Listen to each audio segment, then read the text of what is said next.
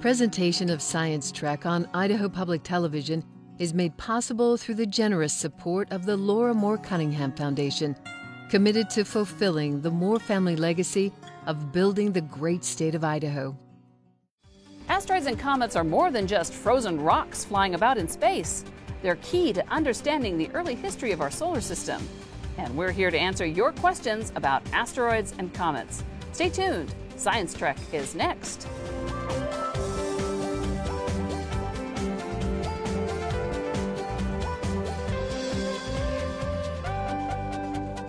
I'm Joan Cartan Hansen, and welcome to Science Trek. And welcome to the observatory on top of the Education Building on the Boise State University campus. We're here to answer your questions about asteroids and comets. And later on in the show, we'll go along as students compete to develop tools for NASA to use when exploring a comet or asteroid. So let's get started by learning a little bit more about asteroids and comets. Let's meet two small solar system bodies. First, comets. Comets formed far from the sun.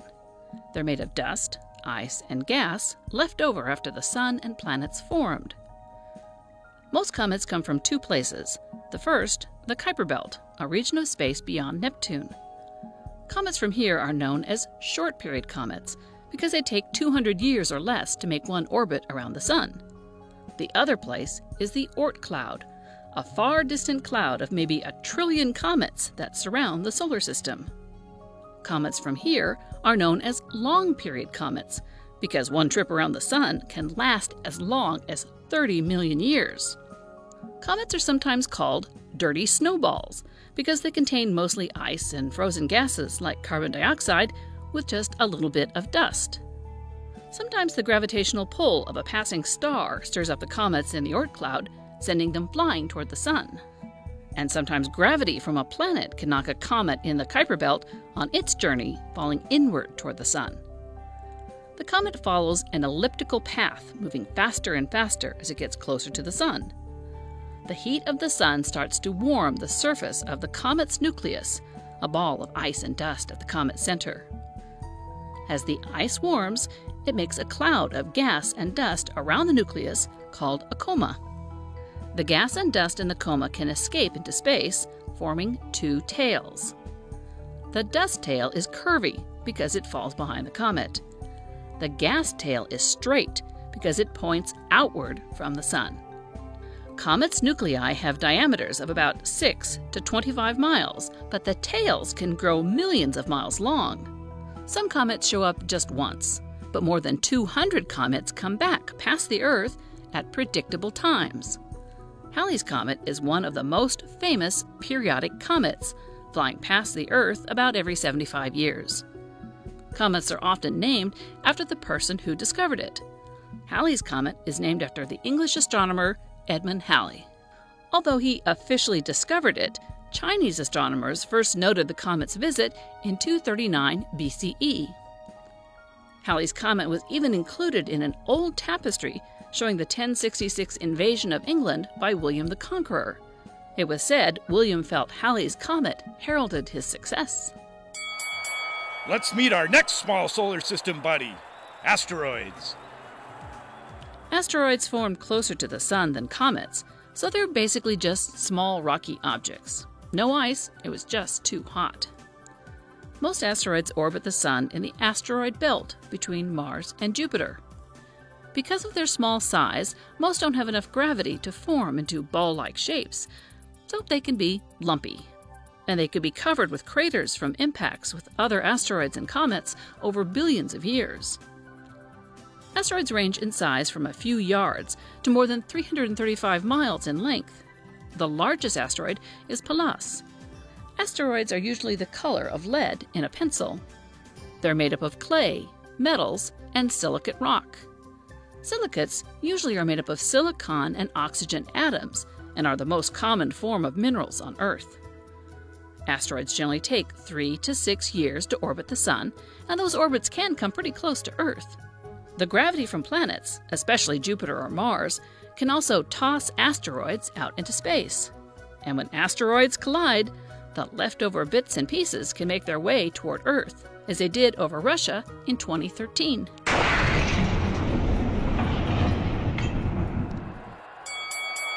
And what do these two small solar system bodies have in common? Asteroids and comets both played an important role in the Earth's history. Scientists think comets may have brought water and some of the chemical compounds needed to form life here on Earth. Comets and asteroids have hit the Earth countless times, changing our planet. For example, an asteroid or comet more than six miles wide smashed into the Yucatan Peninsula of Mexico more than 65 million years ago, wiping out most of the dinosaurs, many plants, and animals. NASA and other agencies now track asteroids and comets to keep our planet safe. Asteroids and comets don't experience erosion like the Earth does, so their surfaces can be billions of years old. And because they've changed so little over time, asteroids and comets can help scientists understand the conditions that existed when the solar system was formed.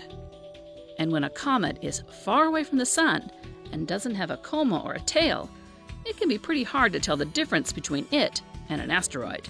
So they have lots of similarities. Both are important small solar bodies that can tell us a lot about our world and beyond. And joining me now to answer your questions about asteroids and comets are Brian Jackson, Assistant Professor of Physics at Boise State University, and Camille Eddy, Boise State University NASA Microgravity Team Leader. Thank you both for joining us. Thanks for having us, John. Yeah, really excited. Okay, let's answer your questions.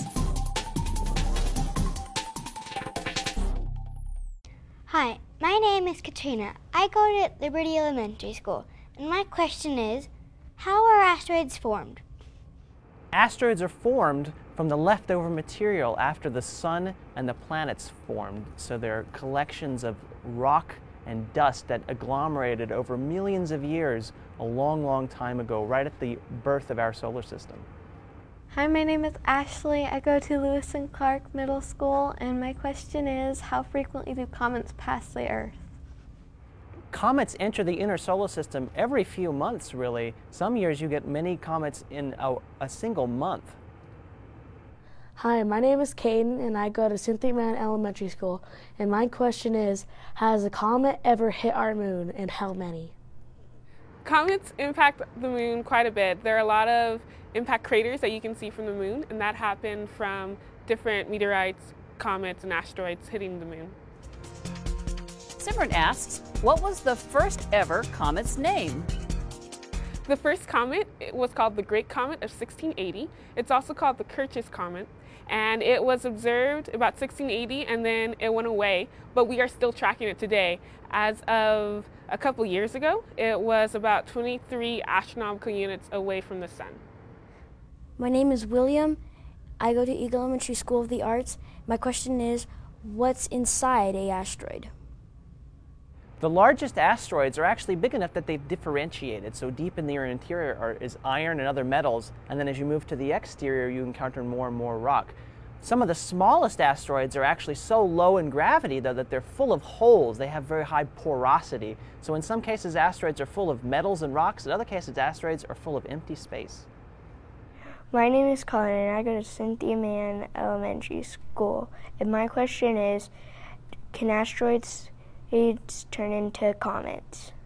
Sometimes scientists have a hard time differentiating between what are comets and what are asteroids, basically because comets contain ice and asteroids don't.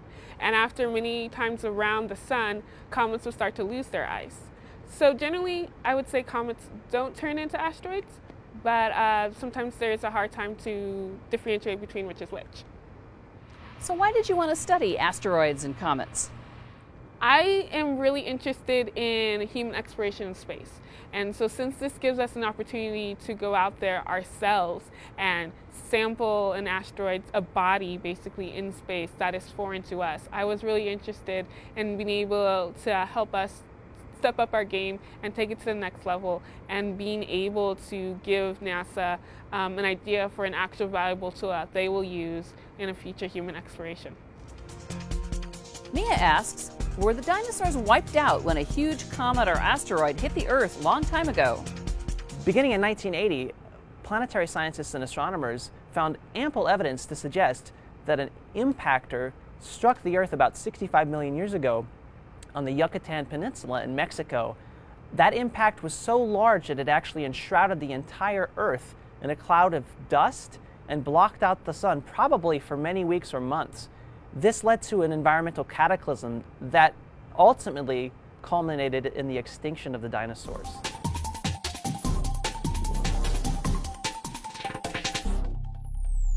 So, what do comets sound like?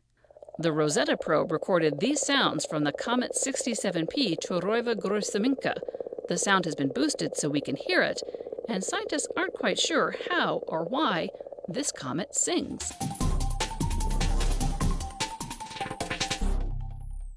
Hi, my name is Jaron, and I go to Cynthia Mann Elementary School. And my question is Is it possible to see asteroids and comets from Earth? Sometimes it's hard to see asteroids and comets from Earth, especially without an unaided eye, so without a telescope. But the easiest part of a comet to see would be its tail when it's closer to Earth. Hi, my name is Austin. I go to AJ Winters Elementary School. My question is why do comets have tails? So, comets contain ice, which when they get closer to the sun, uh, they tend to stream out those particles. They expel the particles, and that's what we see in orbit. Carly would like to know how many categories do asteroids fall into? Astronomers over the years have come up with lots of different ways of classifying asteroids, and there's more than a dozen different categories that asteroids fall into based upon the compositions of their surfaces, based upon their orbital architecture. So there's lots and lots of different ways that astronomers classify asteroids, dozens of different categories. Hi, my name is Alex, and I go to Taylor's Crossing Public Charter School. And my question is, how big is the biggest comet? So Comet Sarabat has a core that's about 100 miles wide.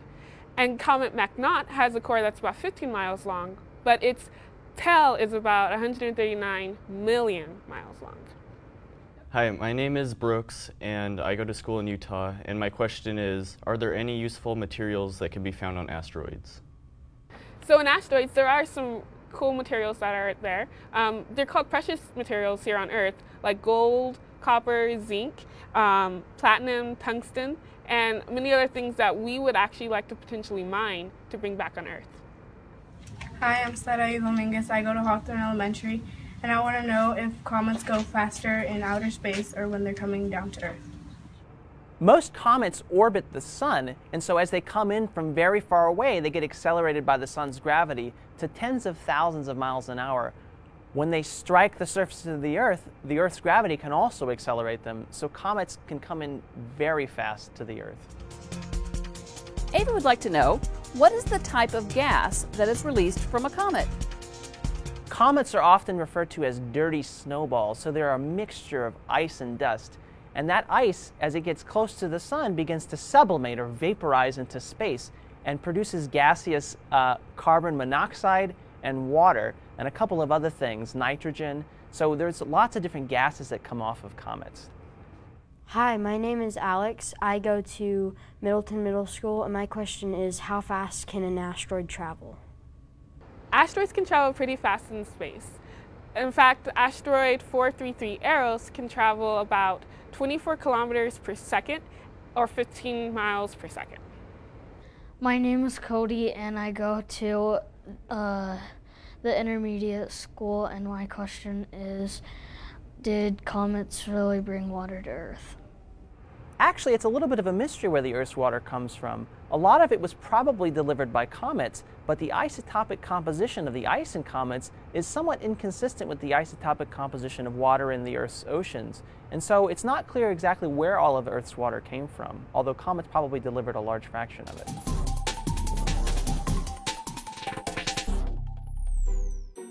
Anytime an astronaut goes into space, he or she takes tools along. But working in little or no gravity, or microgravity, can make things tough. So you need specialized tools to do the job. Engineers at NASA have challenged college students to help them design the next generation of tools. The microgravity team at Boise State University has a specific assignment.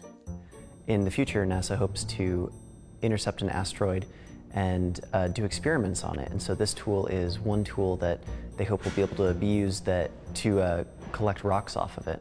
So our tool is a grabber. It's a float sample grabber.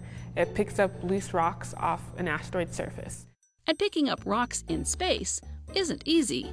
Here on Earth, we have gravity that we consider normal, and we can pick things up easily. So on an asteroid, there's very little gravity. So if you were to just reach out and try to grab, uh, they're called float samples, which is basically a small rock on the surface of the asteroid, you could knock it or yourself out into space. So NASA gave the BSU team the parameters for the tool. That means the general size and shape and what the tool should do. And then the students started brainstorming. And where do you think they got the inspiration for their tool? We saw uh, a, basically a, a dog scooper, you know, that you have in the park, and we said that's a great idea. So the team went to work. Everything had to be designed from scratch, with everything, and I mean everything, even the tiniest screw had to be approved. There's a big handle. Uh, it has to fit those gloves of the astronauts. They're really bulky. It's like a hockey glove. And uh, the next thing you'll see is there is a set of three boxes on a pulley system on a conveyor belt, and there's a very clear handle that you're supposed to grab, and that's how you advance the boxes. And when you squeeze the trigger, the boxes will open. The biggest obstacle, I think, is just trying to get all of the pieces parts to work exactly the way we intend. We spent a very long time working out lots of little kinks as we found them in the design. And then the big moment. NASA divers try BSU's tool in NASA's Neutral Buoyancy Lab at the Johnson Space Center in Houston. Their NASA engineers put the tool through a series of tests to see if it could someday be used on an asteroid. So, Camille, what happened? We went to NASA Johnson Space Center and visited the Neutral Buoyancy Lab, which is the big pool where they allowed us to do testing um, on our tool and figure out how well it worked. What we did was we took a tool that we built and we got to sample those products. Those um, basically they were test rocks that were sitting in the bottom of the pool. The divers went down and they operated our tool with the, their hands, and they opened and closed the tool and was able to collect samples off the bottom of the pool. Did it work? Yeah, it worked really well. It was one of the fastest tool um, there at the that week, and we were able to collect a bunch of different samples as well as test the different ways you can collect a sample. So sometimes they would throw the rock across the tool and try to grab it while it was moving across space. And they would also do tests with can they use it with their non-dominant hand? Will it work well with either hand? And uh, it worked pretty well. The divers are pretty happy about it and they came up and gave us some really cool tips for the future. Would you do it again? I would definitely suggest anyone interested in um, a lot of space science research and uh, getting a hand on what you can do as a NASA scientist to definitely join the program. I know that I am definitely um, geared up to participating in more NASA projects um, that will help broaden my skill set and give me more exposure to what it's like to be a NASA scientist or engineer. Thanks, Camille. Okay, let's go back to your questions. My name is Bra Braden. I go to AJ Winters, and my question is, how do they name comets? So comets are typically named after the person who discovered them, but they can also have a numerical name, which is based on what kind of orbit they have, what year they were discovered, what part of the month they were discovered in, and then what the number the discovery was, like what number it represented. Claire would like to know, can an asteroid shoot out of the solar system and into a different galaxy? Comets are very often ejected from the solar system. In some cases, asteroids can also be ejected from the solar system. But galaxies are really, really far apart, and they're not that big actually compared to the space between the galaxies. And so it can be very difficult for asteroids to go from one galaxy to the other. Hi, my name is Adrian, and I go to Cynthia Mann Elementary School. And my question is Is it possible for a human to ride an asteroid or comet? We haven't ridden an asteroid or comet yet, but soon NASA has plans to go and visit an asteroid and collect geological samples off an asteroid um, by taking astronauts there and having them collect different samples and bring those back to Earth to study. There's also talks about having astronauts going to Mars to ride on an asteroid on their way to Mars to make it go a little bit faster. From a distance, everything in our solar system appears to be in its place. However, if you take a closer look, sometimes you can find asteroids, like Bennu, leaving their home in the inner asteroid belt and passing very close to Earth. Most other asteroids tend to stay grouped together in a few regions of our solar system, yet some still end up in our backyard. So once these asteroids get close, what makes the difference between a near miss and a potential hit? NASA's OSIRIS-REx mission will help better answer this question when it visits Bennu, but scientists think that a force called the Yarkovsky effect might be an important part of the answer. So how does this effect work? Well, like Earth, most asteroids rotate slowly as they move through space. During the day, the surface of the asteroid is illuminated by the sun, so it absorbs heat and grows warmer. During the night, however, the surface cools down, emitting the heat it absorbed as radiation. This radiation exerts a force on the asteroid, acting as a sort of mini thruster that can slowly change the asteroid's direction over time. On larger asteroids, this doesn't amount to much, but on small ones, it can make a pretty large change over time. Because the surface emits the most heat radiation at the end of the day, the direction the asteroid rotates can ultimately determine what happens in the long run. Other factors, such as composition, asteroid shape, and surface features, can modify the magnitude and direction of the Yarkovsky thrust. By studying the Yarkovsky effect on Bennu with the OSIRIS-REx spacecraft, NASA scientists hope to better predict how an asteroid might move through the solar system, and whether it poses any danger to us here on Earth. So the next time an asteroid starts gradually moving into our neighborhood, we'll have a better idea of exactly where it'll end up.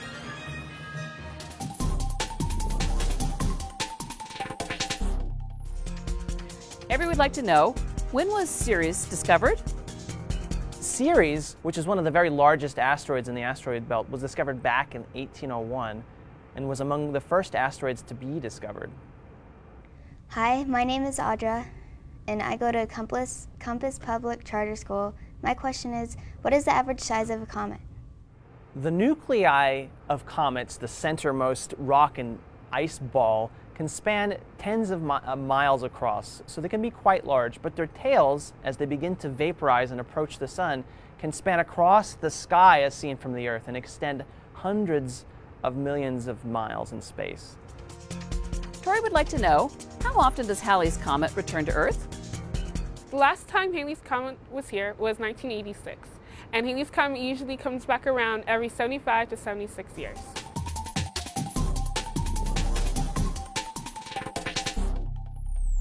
Asteroids and comets aren't the only small solar bodies to remember. There are also the three M's. A meteoroid is a tiny rocky body in space, smaller than an asteroid. It can be as small as a grain of dust. A meteor is the streak of light that forms when a meteoroid enters Earth's atmosphere and burns up. We sometimes call it a shooting star. If that meteoroid or parts of it survive the fall through the Earth's atmosphere and strike the ground, then it's called a meteorite.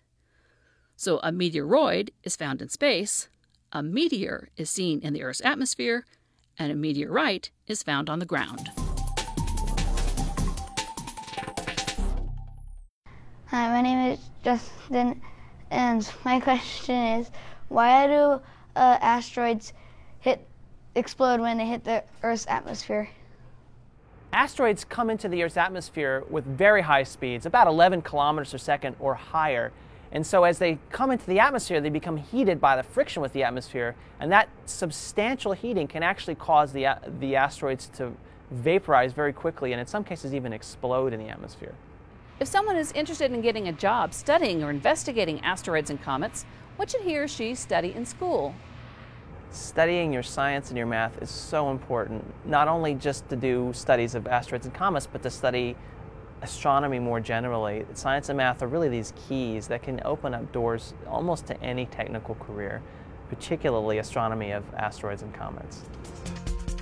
Luke asked, why do comets not melt when they get so close to the sun? Comets actually do melt as they get close to the sun, but they come off in chunks and layers. So it usually takes a couple of passes around the sun for you to see them not to have as much ice as you might see. Hi, my name is India and I go to Cynthia Mann Elementary. And my question is, what is the biggest comet that has ever been recorded in history? So Comet McNaught is about 15 miles wide, and its tail is about 139 million miles long. Curtis would like to know how many asteroids are there in the solar system?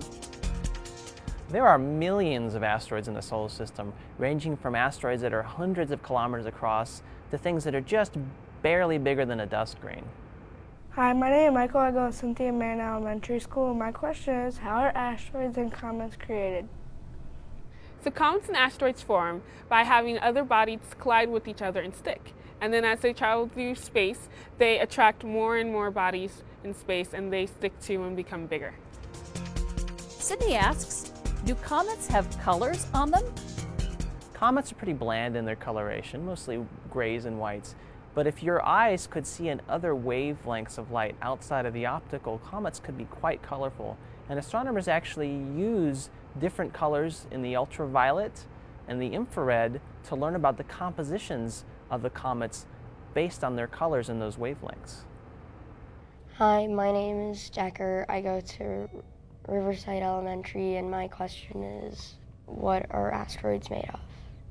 Uh, asteroids are made primarily out of rock, but many asteroids also have metals in them like iron or nickel. And some asteroids even have a little bit of ice in them. Maddie would like to know are there several asteroid belts? There's only one main asteroid belt in our solar system, but it composed of many different subgroups of, of asteroid, which each have their own sort of orbital architectures. But out past the asteroid belt, there's another collection of, of icy bodies called the Kuiper Belt, and even farther out beyond that is the Oort cloud, where many of our comets come from. Hi, my name is Courtney, and I go to Cynthia Mann Elementary School. And my question is, what is the difference between asteroids and comets? So asteroids live closer to the sun, and they don't have ice on them. They'll have very little ice. So they're made of rocks and uh, metals. Comets live further from the sun, which kind of allows them to have ice. So they typically have a lot of ice, and as well as rocky surfaces and metals as well. I'm sorry we've run out of time. My thanks to Camille and Brian for answering questions today. Thanks for having us. Appreciate it. Our thanks also to the folks here at the Boise State Observatory for hosting us. You can learn lots more about asteroids and comets and lots of other science topics on the Science Trek website. We'll answer more questions about asteroids and comets on the Science Trek The Web Show. If you want to submit a question for Science Trek, it's easy, and you and your class can win prizes. You can send it as an email or a video question, recorded on your webcam or cell phone. And if you're an educator, we'll even lend you a camera. Our last prize winner was Jordan in Mrs. Abeda's class at Oahe Harbor School in Boise. So to find out all about asteroids and comets and how to send in your questions and how to win, go to the Science Trek website. And each week, check out my blog for the latest science news for kids. You'll find it all at idahoptv.org slash science trek. Thanks for joining us. We'll see you next time on Science Trek.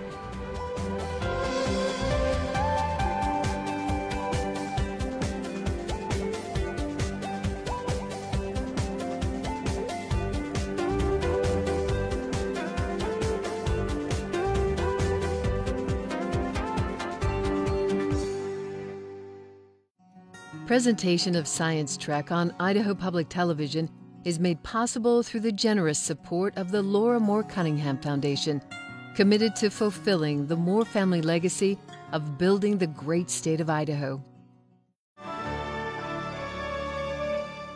If you want to learn more about this topic or watch our videos, check out the Science Trek website at idahoptv.org/science trek.